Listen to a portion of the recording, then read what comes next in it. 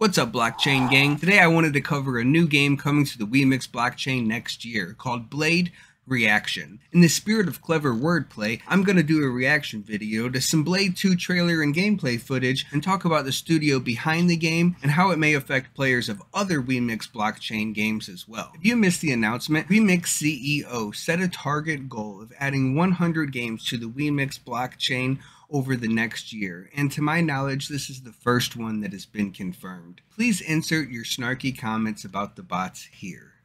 When I first heard about Blade Reaction developed by Action Square during the CEO's speech at the Korean Game Society, I immediately thought about Wesley Snipes slaying supernatural scumbags using his vampire strength while exposing their weaknesses, of which he suffers none. And I got excited because his only weakness is his heart, literally and metaphorically.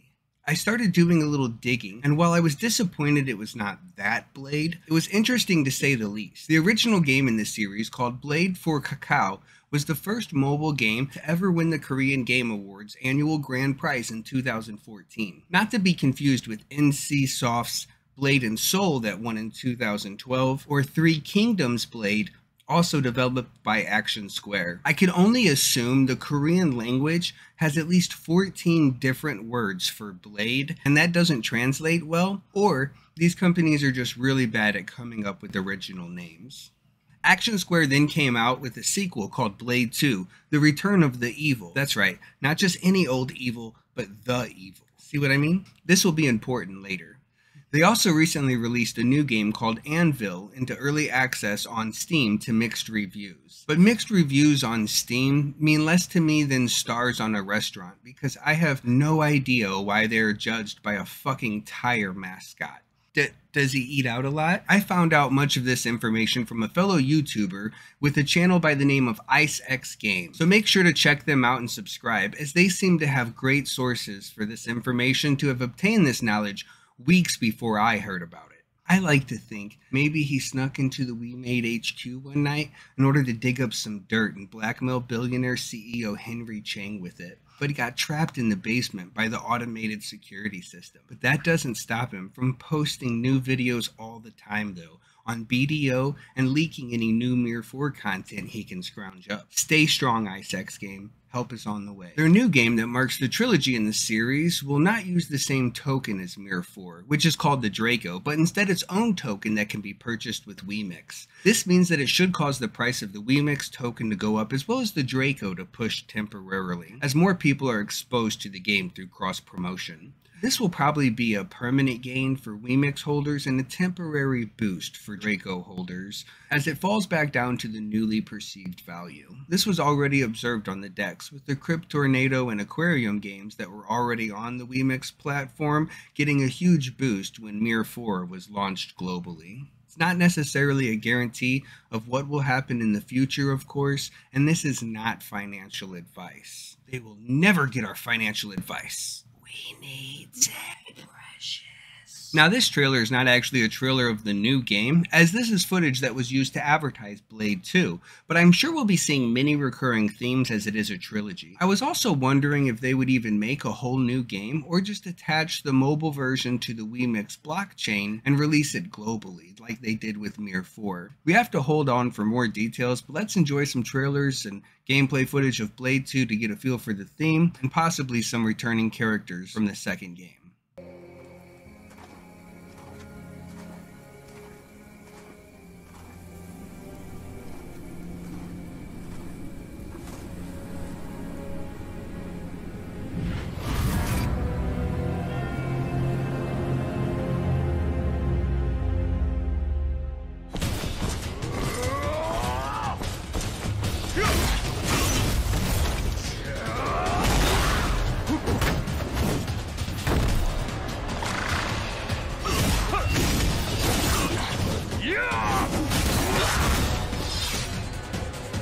이제 너희들은 자유다.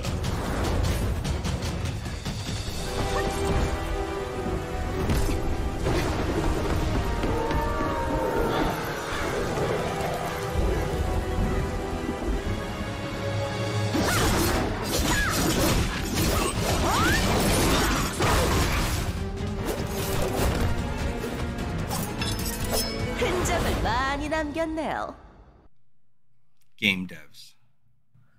You have to stop doing this. Oh, This is not okay.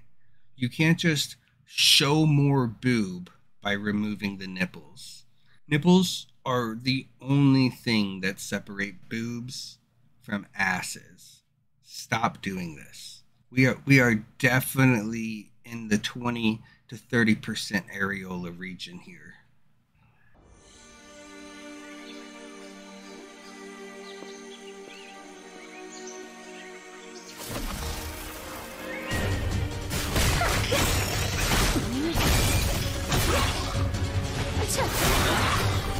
Why why is she so wet? Did did it just stop raining? I swear if I squint just right, I can see the reflection of my younger self masturbating last night. Please include a wetness slider as this is totally immersion breaking. I I want to stop playing and and just get my character a towel. 아직 제대로 보여주지 않았어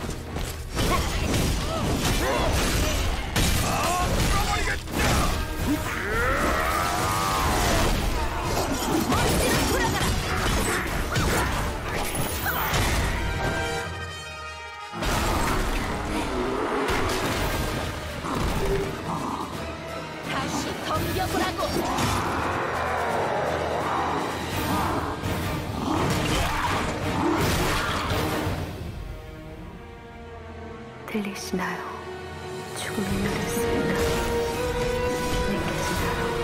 거미, 당신을 부르는 소리가 두려워 마세요. 당신의 검은 심판을 기다리고 있어요.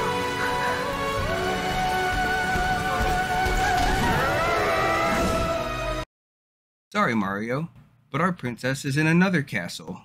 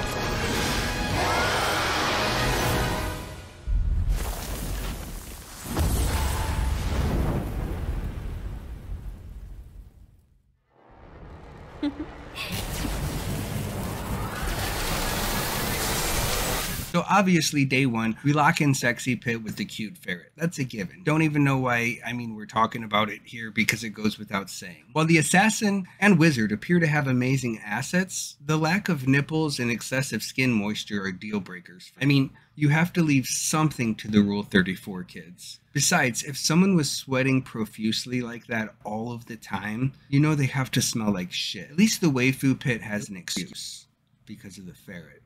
I'm not going to talk about the warrior or the puncher guy because they probably won't even make it into the new version of the game. And even if they did, I doubt I would notice. To be honest, it seems weird that the next game would be an action RPG, as it seems to directly compete with another game on the WeMix platform already called Crypt Tornado from the same genre. The reason why I suspect this game may be a port from the second version is because the studio is already working on another early access game, which would require many more resources, in addition to maintaining their other games as a service and creating an entirely new game on top of that. One important distinction is that there are already two versions of this game out now. The original was released in the East for mobile devices, and then there was a Nintendo Switch port. They fixed the title to The Return of Evil for that one, but they also removed the cash shop, added difficulty levels to the campaign, and took out the PvP functionality, making it a much less playable version of the game while giving it a visual upgrade. That is why I would assume they're going to re release the Blade 2 core game with the multiplayer elements added back in and brand it as Blade Reaction, or just Blade Re for short. If you're a fan of Diablo or Path of Exile like dungeon crawlers who are in love with random loot drops, then you may want to keep your eye out for this one in 2022. I know I will be. Peace.